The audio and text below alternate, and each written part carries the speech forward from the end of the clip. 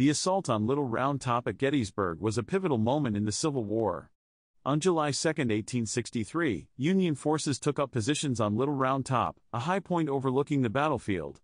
Confederate General John Bell Hood recognized the importance of this position and ordered his men to capture it at all costs.